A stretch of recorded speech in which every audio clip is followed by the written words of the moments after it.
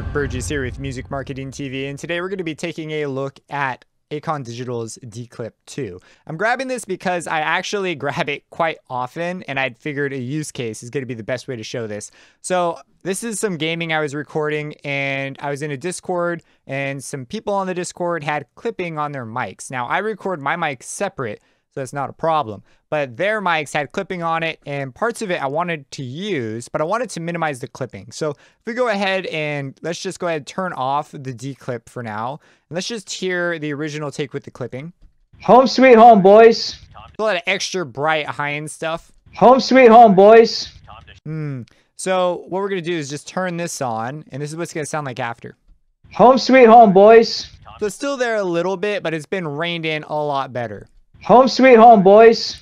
And if I really wanted to, I could fiddle with this and get like a super, as clean as possible result uh, with the audio that I'm given. And just to show you how easy it is to get the result, you just go ahead, add an effect, uh, add the declip 2, and also the declick as well is a miracle worker for a bunch of things. So one of these days when it comes up, I'll have to do a video for that. Uh, so here is it. Now let's just go and turn it off. So this was before. Home sweet home, boys. And this was after. Home sweet home, boys. Now you notice that this one, it's still a little bit more noticeable. I'll just play it one more time. Home sweet home, boys. You can hear it being reduced and we can fix this by moving these around and sort of optimizing where they're at. This I do through just trial and error. I don't think like incredibly technically while I'm doing this. I just sort of move it around until I find a setting that I like. Home sweet home, boys.